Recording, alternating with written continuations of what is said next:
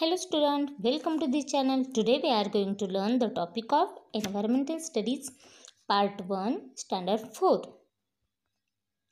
There are 9 lessons of the science. We are going to the first lesson of science the life cycle of animals. आपण प्राण्यांचं जीवनचक्र कसं असते ते आपण या लेसनमधून पाहणार आहोत first point can you tell look at the puppies and their mother in the picture do you see some similarities? पहिल्या पिक्चरमध्ये आपण पहा काय दिसत आहे? डॉग अँड पपीज याच्यामध्ये तुम्हाला सिमिलॅरिटी दिसतात का? सेम हो. तर त्यांच्या बॉडीमध्ये आपल्याला सिमिलॅरिटी दिसून येतात. Nose eyes legs tail these are similarities of them look at the butterfly and the caterpillar has come out of the egg. Do you see any similarities? आपण पहा दुसऱ्या पिक्चरमध्ये कॅटरपिलर आणि बटरफ्लाय दिसत आहे. तर कॅटरपिलरमधूनच हे बटरफ्लाय बाहेर येतं. पण यांच्यामध्ये सिमिलॅरिटीज दिसतात का? तर यांच्यामध्ये आपल्याला काही सिमिलॅरिटीज दिसत नाहीत. Next point can you tell a hen lay eggs chicks come out of those eggs पहा अंड्यातून पिल्ले हे बाहेर येतात. कोंबडी काय करते? अंडे घालते आणि या अंड्यातूनच पिल्लांना जन्म देते. Do kitten come out of eggs म्हणजे पहा मांजरीची पिल्ले हे एग्जमधून बाहेर येतात का? तर नाही आपल्याला माहिती. The growth of animals a kid and a fully grown goat are not very different to look at. There is not much difference between a kitten and adult cat आपण पाहतो की गोट आणि तिच्या पिलामध्ये आपल्याला काहीच डिफरन्स दिसत नाही. तसेच कॅट आणि किटनमध्ये सुद्धा आपल्याला काहीच डिफरन्स दिसत नाहीत. These babies grow in their mother's tummy and are born from the mother's tummy या पिल्लांची वाढ त्यांच्या मदरच्या पोटामध्येच होते आणि ते त्यांच्या मदरच्या पोटातूनच जन्माला येतात. These animals do not lay eggs आणि अशा प्रकारचे ॲनिमल्स अंडी घालत नाहीत. But some animals like crows spiders lizard lay eggs आणि आपण पाहतो की काही ॲनिमल्स हे अंडी घालतात. जसं की क्रो स्पायडर लिझार्ड यासारखे ॲनिमल्स इन्सेक्ट हे अंडी घालतात. Next point a chicken is a born from an egg and butterflies fish frog snakes are all animals that lay eggs but we not often see their eggs The eggs of some very small animals are very tiny. We would hardly notice them. आपण पाहतो की काही animals हे अंडी घालतात पण आपल्याला सहसा हे कोंबडी अंडं घालते हे माहिती आहे. इतर ॲनिमल्स अंडी घालतात हे आपल्याला सहसा दिसत नाहीत. अँड्स बटरफ्लाय फिश फ्रॉग स्नेकसुद्धा अंडी घालतात पण आपल्याला ते सहसा दिसत नाहीत.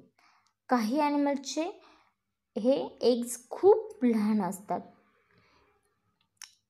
So we do not come to know that these animals lay eggs but we know for sure that hen lay eggs her eggs are big enough to be easily seen पहा आणि कोंबडीची अंडी ही आकाराने थोडीशी मोठी असतात त्याच्यामुळं आपल्याला हे अंडी सहज पाहायला भेटतात. A new term hatch Hatch means when a hen sits on her eggs to warm them, she is said to be hatching her eggs. This is new term. Next point. A hen lay eggs. Warmth is necessary for chicks to grow inside the egg. So after laying them, the hen sit on the eggs to keep them warm. The chicks inside slowly keep growing. Warm म्हणजे उबदारपणा. हेच means उबविणे. उबवून पिल्लांना जन्म देणे. पहा Henley eggs कोंबडी अंडी घालते आणि त्या अंड्यावर काही काळ बसते.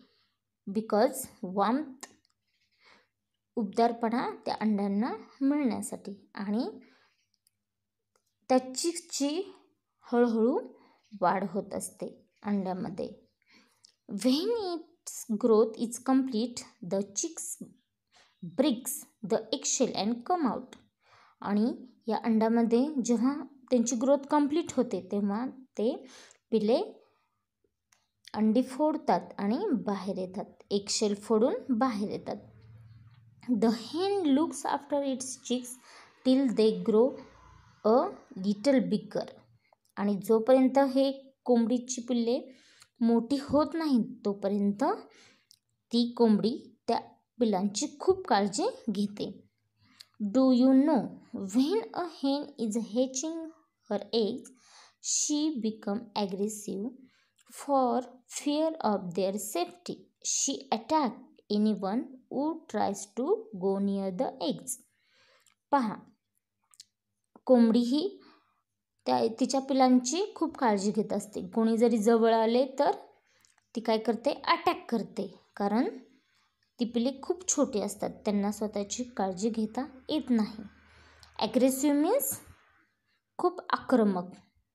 अटॅक करते त्या इतरांवर.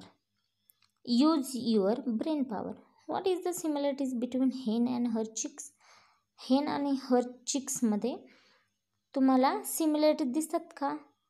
तर तुम्ही ते सांगायचं आहे. Next point metamorphosis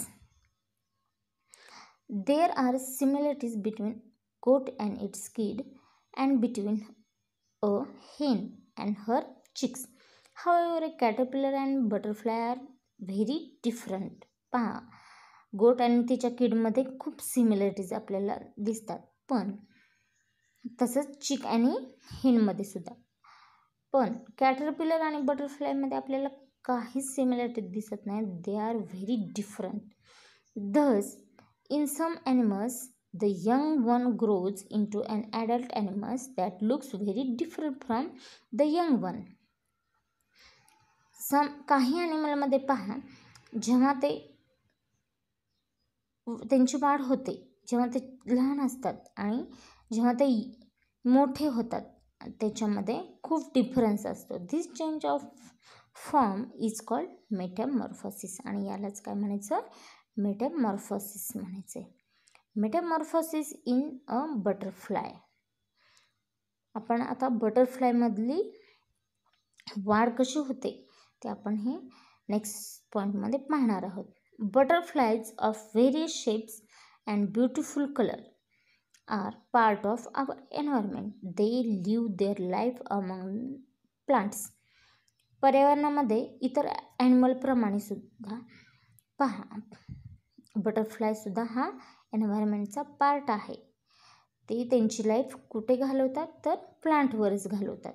As butterfly grow they pass through four stages these are egg larva pupa and adult आणि त्यांची ग्रो होण्यासाठी त्यांना फोर स्टेजेसमधून जावे लागते. पहिली स्टेज कोणती आहे? एग दुसरी स्टेज आहे लार्वा तिसरी स्टेज आहे पुपा आणि चौथी स्टेज आहे adult the adult stage is called butterfly आणि चौथी स्टेजमध्ये ते पूर्ण बटरफ्लाय बनतं. The plain tiger butterfly is a very common one us take its example to see how growth is a growth of butterfly take place plain tiger butterfly हे आपण commonly पाहतो झाडावर. आपल्याला दिसतं पावसाळ्यामध्ये बटरफ्लायज आणि त्याच्यामध्ये प्लेन टायगर बटरफ्लाय हे कॉमन आहे. तर त्याची कशी ग्रोथ होते हे आपण पाहणार आहोत. The female plain tiger butterfly lays egg and egg on a milkweed Rui leaf plain tiger बटरफ्लायची ही मादी असते ते एका पानावर अंडी घालते हे पान कशाचं असतं Rui milkweed in six to eight days the larva emerge from the egg the larva of butterfly is called a caterpillar आणि सहा ते आठ दिवसामध्ये या अंड्यातून एक लार्वा बाहेर पडतो. लार्वा मीन्स एक अळी बाहेर पडते. आणि या त्या लार्वालाच आपण काय म्हणतो? Caterpillar when the caterpillar come out of the egg it is very hungry it began to nibble and eat the very leaf on which it emerge from the egg it eats very fast so its growth is very rapid आणि ते caterpillar बाहेर आल्यानंतर अंड्यातून ते खूप hungry असतं. खूप भुकेलेलं असतं. आणि ते काय करतं? झाडावरचे लिफ हे खायला कुरतडायला सुरुवात करतं. आणि खूप सारे लिफ फास्टली खातं. आणि त्याची वाढ कशी होते? व्हेरी फास्टली आणि त्याची वाढ खूप लगेचच होते. A moult to shed old skin to make way for new growth moult म्हणजे स्किन काढणे. ओल्ड स्किन काढून टाकणे. The caterpillar of the plain tiger butterflies grows so rapidly in the first two three days that it does not fit in its skin anymore but under the old skin a new loose skin is a form on the growing caterpillar then the caterpillar sheds the old skin that is its mold पहा कॅटरपिलरची वाढ ही खूप वेगाने होते आणि पहिले दोन ते तीन दिवस त्याची स्किन ही त्याला फिट होत नाही. मग काय करतो ते स्किन काढून टाकतं. ओल्ड स्किन लूज करतो. नवीन फॉर्म ऑन ग्रोविंग कॅटरपिलर आणि नवीन स्किन तयार करतो. Then the caterpillar shed the old skin that is moult आणि जी जुनी स्किन काढून टाकतो त्यालाच काय म्हणायचं? Moult next point again it begin to gnaw gobble up the leaf and the continuous to grow rapidly in two or three days it moults second time आणि दोन तीन दिवसानंतर पुन्हा एकदा मॉल्टिंग करतो. In this way it moults four time आणि अशा प्रकारे ते त्याची स्किन चार वेळा काढतो.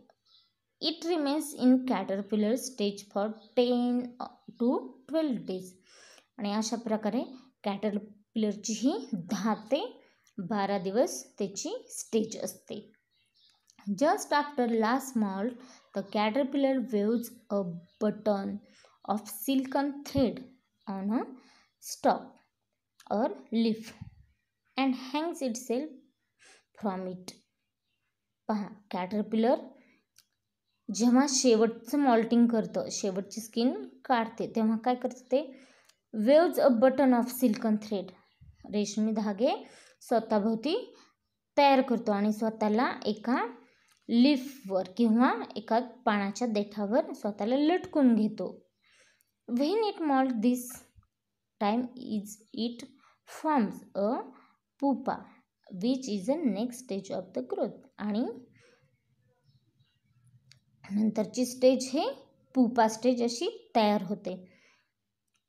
The pupa of a butterfly is also chrysalis आणि पुपा स्टेजलाच काय म्हणतात? Chrysalis it remains inside the chrysalis for next eleven or twelve days आणि अशा प्रकारे क्रिसॅलिसच्या स्टेजमध्ये इलेवन टू ट्वेल्व डेजमध्ये राहतो तो.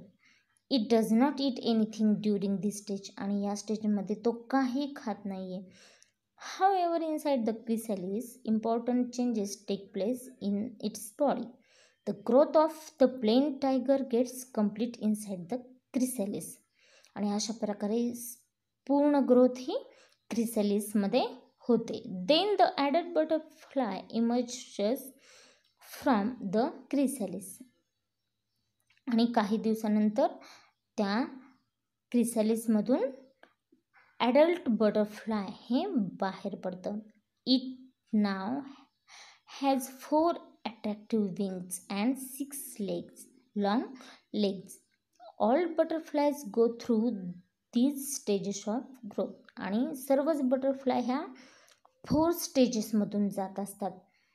आणि या क्रिसॅलिस या स्टेजमधून बाहेर पडल्यानंतर त्याला फोर ॲट्रॅक्टिव्ह विंग्ज असतात. आणि सिक्स लाँग लेग्स हे तयार झालेले असतात पहा चित्रामध्ये आपल्याला दिसत आहे की ॲटल बटरफ्लाय आणि chrysalis do you know for each type of butterfly the type of plant on whose lose its female will lay eggs is a fix.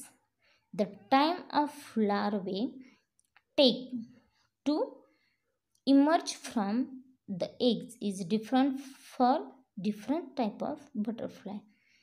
पहा वेगवेगळ्या बटरफ्लायचे हे टाईपसुद्धा वेगवेगळे असतात.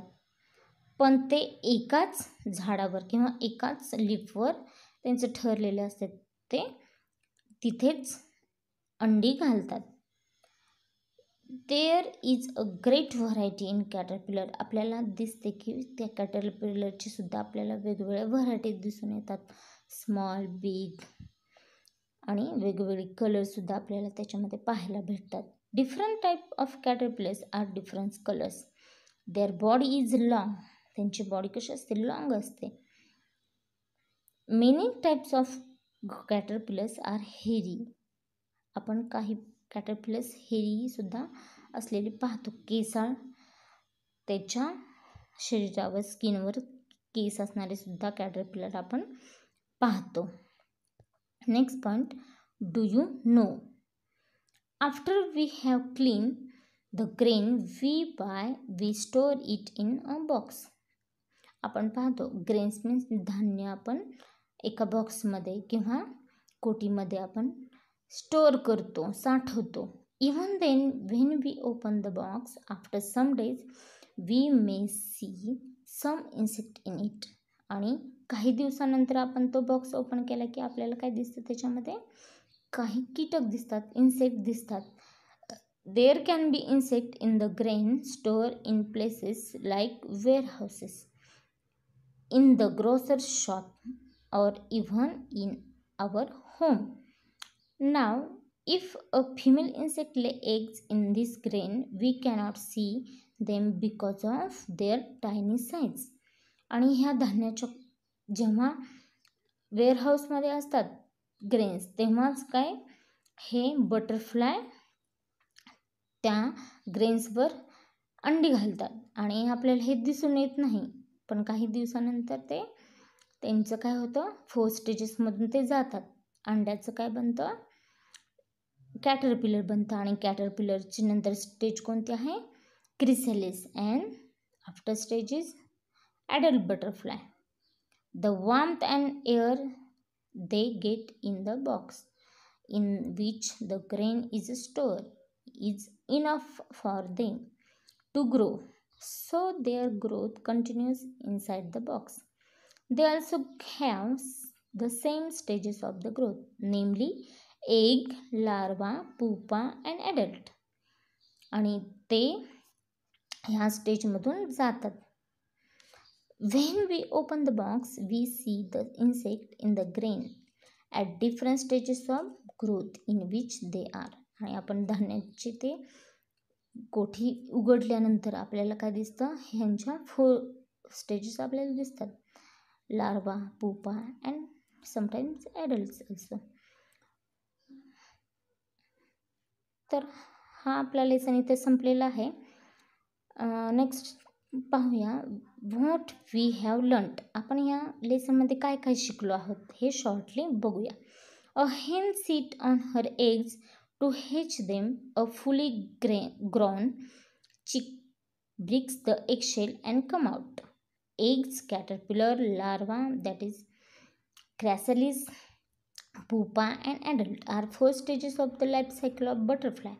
The plain tiger butterfly lay its eggs on the leaves of milkweed plant. The larva emerge from the egg. It is called the caterpillar. When the growth of caterpillar is complete, it enters the pupa stage during which it lives inside the chrysalis. The adult butterfly emerges from the chrysalis. It has six long legs and four attractive wings. These are main important point. Now we will see the exercise in next videos.